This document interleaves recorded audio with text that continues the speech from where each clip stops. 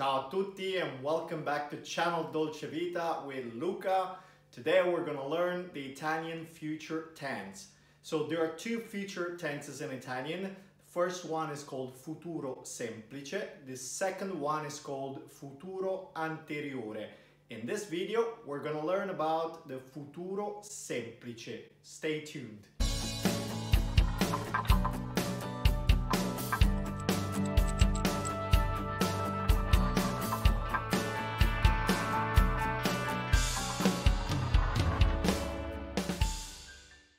I got two good news about the future tense and the futuro semplice in particular.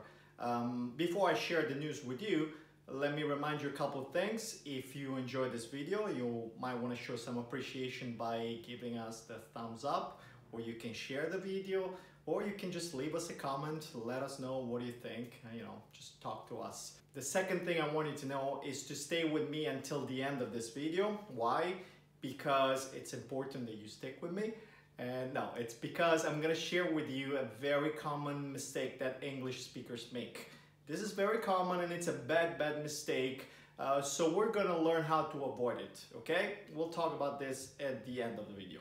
Good news number one. The Italian futuro semplice is not really used that much in colloquial Italian.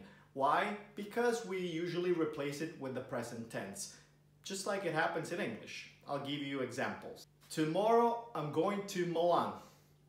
In Italian will be domani vado a Milano. Domani vado a Milano. So vado is the present tense. The verb is andare, io vado, I go. So present tense for the future, for something that is happening tomorrow. The Italian course is starting in September, or the Italian course starts in September. In Italian is Il corso di italiano inizia a settembre. Il corso di italiano inizia a settembre. As you can see, iniziare is used in the present tense. What are you doing next week? Cosa fai la settimana prossima? Cosa fai la settimana prossima? So once again, we're talking about something that is happening next week, in the future, but we use the present tense. Cosa fai la settimana prossima? I decided next year we're spending the summer at the lake. Ho deciso l'anno prossimo passiamo l'estate al lago. Ho deciso l'anno prossimo passiamo l'estate al lago. I'll call you tomorrow. Ti chiamo domani. Ti chiamo domani. It's as simple as that. Good news number two. The regular forms of the futuro semplice are very, very simple. Remember the three groups we learned in Italian in 30 days? Are, ere, ire. Okay, you should remember that. It's, it's essential. If you don't remember that, go back to Italian in 30 days and, you know, just brush it up a little bit. Okay? So, uh, we have these endings, are, ere, and ire. If we remove the endings, we have the stem of the verb. So what you need to do is simply to add this. For first and second group, you add ero, erai, era, eremo, erete, eranno. For example, parlare becomes parlerò, io parlerò, tu parlerai, lui parlerà, noi parleremo, voi parlerete, loro parleranno. And when it ends in ire, you need to add this. Irò, irai, irà, iremo, irete, iranno. For example, the verb to finish, finire. Io finirò, tu finirai, lui, lei finirà, noi finiremo, voi finirete, loro finiranno. Now, there are two very important verbs. They're actually irregular. And we're gonna cover irregular verbs in the next video. But these two verbs are too important not to be covered right now. And they are the verbs to be, essere, and to have, avere. So let's take a look at them. Io sarò. Tu sarai. Lui, lei sarà. noi saremo, voi sarete, loro saranno. Sarò, sarai, sarà. Saremo, sarete, saranno. As for the verb to have, io avrò, tu avrai, lui, lei avrà. Noi avremo, voi avrete, loro avranno. Avrò, avrai, avrà. Avremo, avrete, avranno. Now let's move on and learn the, four cases when we actually use the futuro semplice. Case number one is to express future actions or events that will happen in the future, like we looked at before. Remember, uh, we were using the present tense, but we can use the future tense, futuro semplice. Here are some examples. Next year, I'll leave for India. L'anno prossimo partirò per l'India. L'anno prossimo partirò per l'India. So partire, the third group, partirò. Next month, Andrea Bocelli will sing in Rome. Il mese prossimo, Andrea Bocelli canterà a Roma. Cantare, first group. So, lui canterà. Il mese prossimo, Andrea Bocelli canterà a Roma. The second case is when you suppose something. Angela is not here. She must be at the gym. Angela non è qui. Sarà in palestra. So what's, what's happening here? You're supposing that Angela is somewhere else. So in English we say must be. Uh, she must be at the gym. In Italian, you use the future tense. Sarà expresses the supposition, okay? Angela non è qui. Sarà in palestra. They knocked on the door. It must be Luigi. So what are you supposing here? That it must be Luigi. And we'll see in Italian with the future tense. Hanno bussato alla porta. Sarà Luigi. So sarà Luigi. You're supposing that it must be Luigi. Hanno bussato alla porta. Sarà Luigi.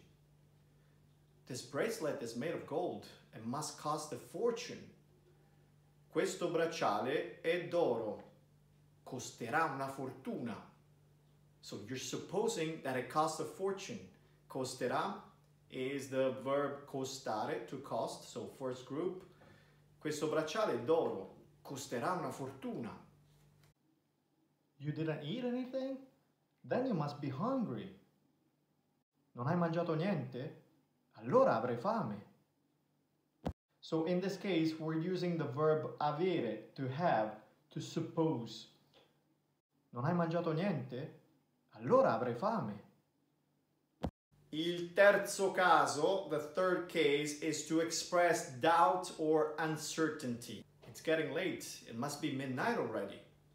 So you're not sure, but you think it might be midnight. So in Italian is si sta facendo tardi. Sarà già mezzanotte. So you're using the verb to be, sarà. Si sta facendo tardi, sarà già mezzanotte. It's my fault then. I must be stupid. È colpa mia allora, sarò stupido. It's like, what can I tell you? È colpa mia allora, sarò stupido. I must be stupid.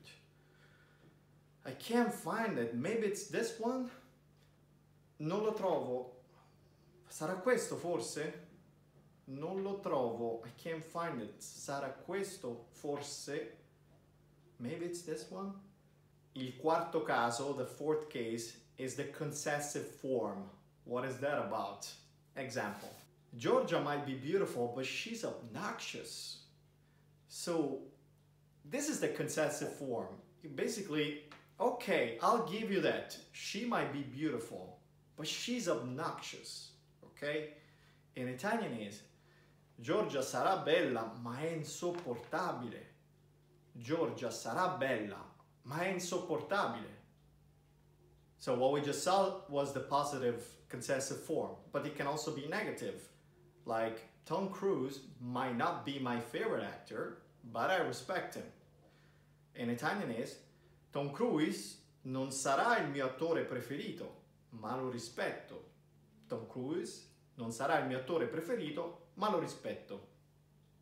So you stuck with me so far. Ottimo lavoro. Great job. Well done. Okay, now it's time for me to share with you the common mistake that English speakers make. And it's using the present continuous for the future. You can't do that in, in Italian, okay? It's a very rookie mistake, so don't you ever do that. I'll give you the first example I shared with you at the beginning of the video. Domani vado a Milano. So in English you could say, tomorrow I'm going to Milan. In Italian you cannot say, domani sto andando a Milano. Why? You can't. Why?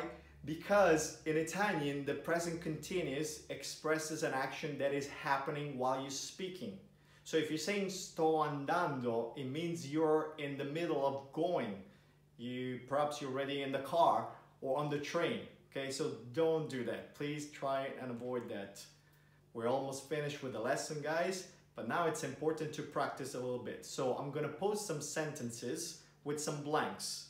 What you want to do is to pause the video and fill in the blanks. You just write it in the comments below, okay? Write the whole sentence with the part that is white, that is blank, you fill it in. Uh, here's what happens. If you pause, you have all the time in the world to fill in the blanks. Then you press play again and you check if you made a mistake or if you got it right.